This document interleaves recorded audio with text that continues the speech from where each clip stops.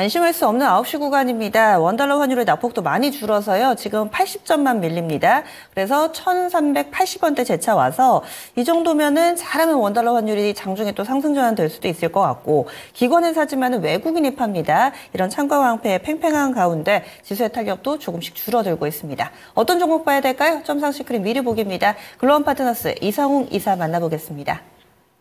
최근에 시장 흐름은 저번 주부터 어, 좀 불안감이 가중이 되었었죠. 종목들의 변동성도 큰 상황이고 특히 반도체 관련해서 엔비디아 같은 경우가 10%대 조정이 나와 있기에 종목들을 좀 빠르게 볼 필요는 없는 시장임을 우선은 처음부터 말씀을 드립니다.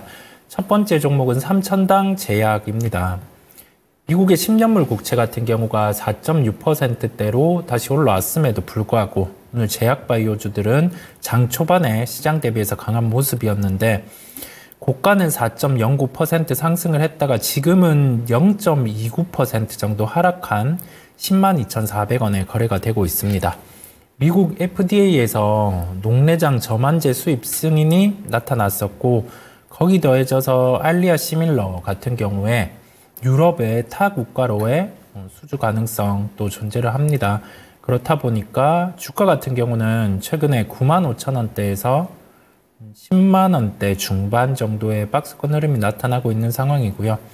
현재 구간에서는 뭐 이와 관련해서 알리아 시밀러의 수주 확산이 나타나는지를 좀 확인해 볼 필요가 있는 구간임을 종목을 통해서 말씀을 드립니다. 보유하고 계신 분들은 보유를 하셔도 되겠습니다. 번째로는 샘 CNS입니다. 우리가 반도체는 지금 선당 공정 부분, 그다음에 후공정 이 두 부분으로 크게 나눌 수 있겠는데요.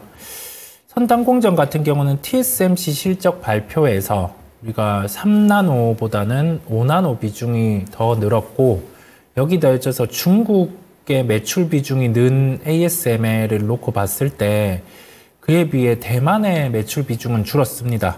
그리고 TSMC의 시설 투자 같은 경우는 동일하게 추진을 한다라고 했죠.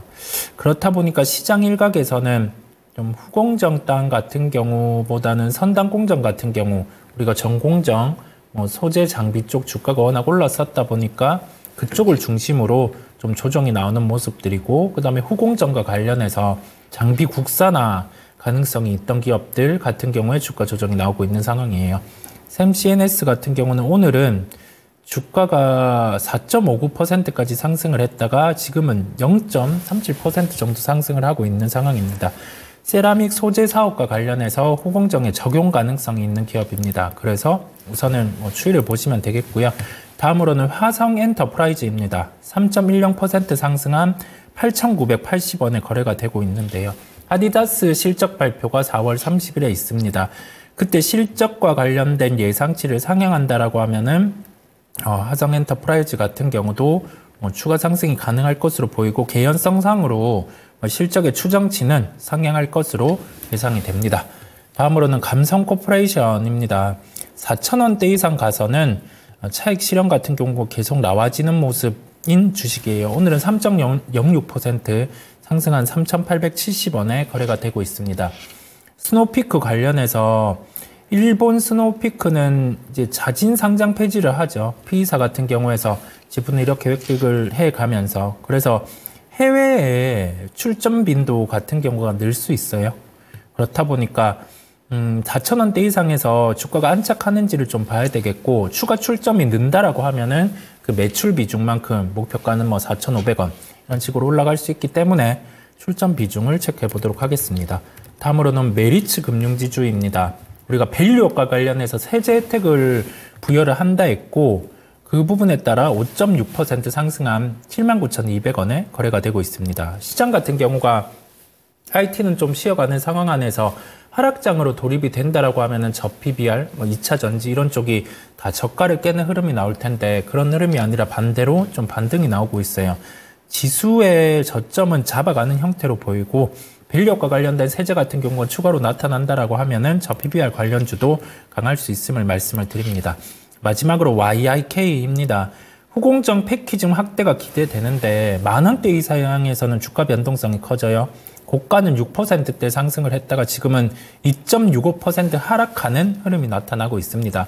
오늘 반도체주는 급하게 진입할 필요가 없다라는 말씀을 시장을 통해서 드리고 아무래도 엔비디아의 60일선 같은 경우에 이탈이 있었음에 따라 좀 이번 주에는 회복이 나타나는 걸 확인하고 접근을 하시는 게 낫다라는 말씀을 드립니다.